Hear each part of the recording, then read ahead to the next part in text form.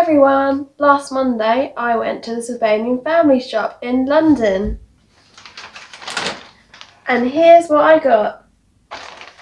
So, I got something that's really special, and that is the Wild Boar family. So it says that they are a display sample from 2005 and whilst I was at the shop, Rocky told me that these are actually really special because with the babies, they, this was like a prototype, so the babies are actually wearing different coloured clothes to what they are normally. So the standing baby is wearing yellow, and then the sitting baby is in pink, and the crawling baby is in blue. But when this family was actually released, they were wearing different colours. So I think that is really special. And there was only three of this family with the babies wearing those colours released. So this was one of three. So this is super, super rare.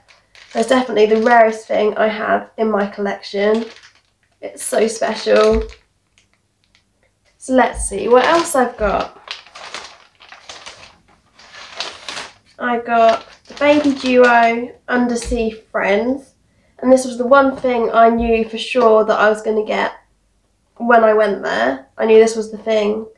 I'd look on their website before and I thought this is the thing that I really want that I should definitely get because I'd been waiting to get this because I thought I can get it when I actually go. Otherwise I would have ordered it online but I thought I'll wait and get this when I went. They are so cute. I love their costumes. They're adorable.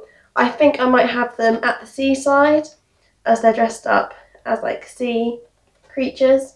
But I do think that I'll also have them at Baby Mermaid Castle when I get that. And we've also got another costume set. The Veggie Babies. So they're really cute.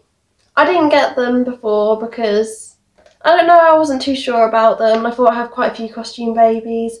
But then when I saw them in real life, in person, I just had to get them. They're so cute. And I think these would be really good to have on my farm at the market. They could be trying to get people to buy more vegetables. Let's see what else I've got. So I got the tableware set. Just because I thought, well, it's something I haven't got and that it's quite a nice little set to have. So when they've got like their dining room tables, so they actually have something on it, just to make it look more realistic, they have things all set up in their houses. And then I also got, I do already have this, but I've got another one of the garden decoration set. So at the moment I have, the one I have already is set up at the Fieldview Mill so I thought, and normally before that I had it set up on Beechwood Hall or um, Country Homes. So I thought I'll keep that one permanently set up at Fieldview Mill and then this one I can use on another house. And then we have one more Sylvanian thing. And that is an address and birthday book. It was only 25p, so I had to get it.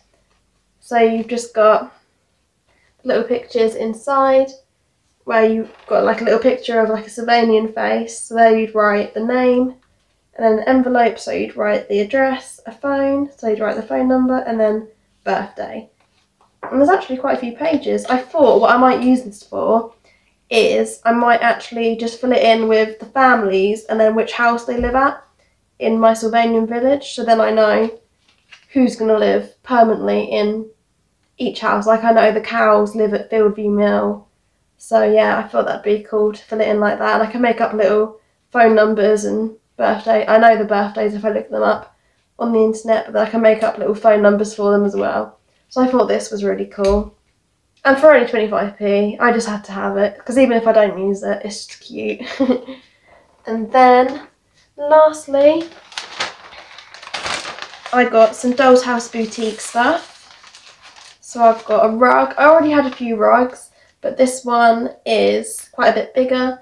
I think it was better to go in the shop to see the Doll's House Boutique stuff because you can actually see how big they are, it's easier to see them when they're in front of you rather than trying to imagine the actual size. When you see it like that, I thought that will be good, and I think I will put it in Country Cottage. I think quite a lot of the Dollhouse Boutique stuff I am going to use in Country Cottage. And then I got this, which I really love. This little like China tea set.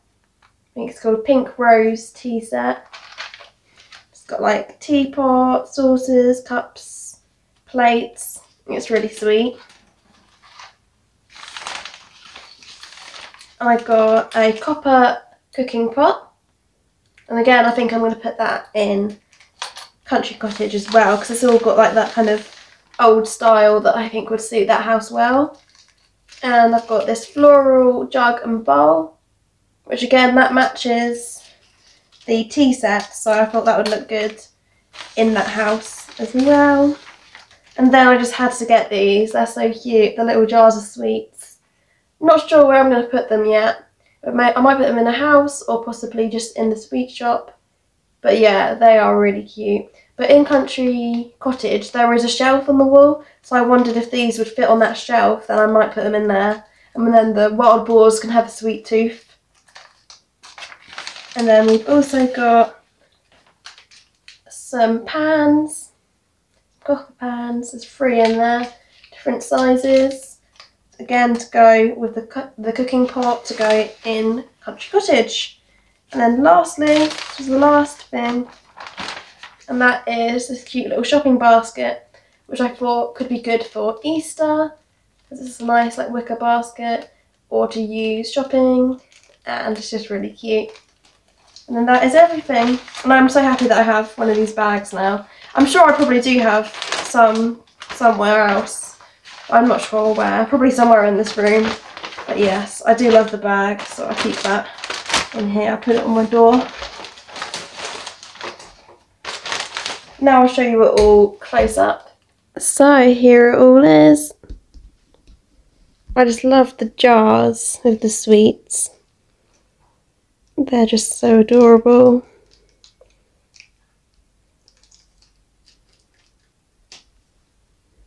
The undersea friends. So we've got a mole and a Labrador.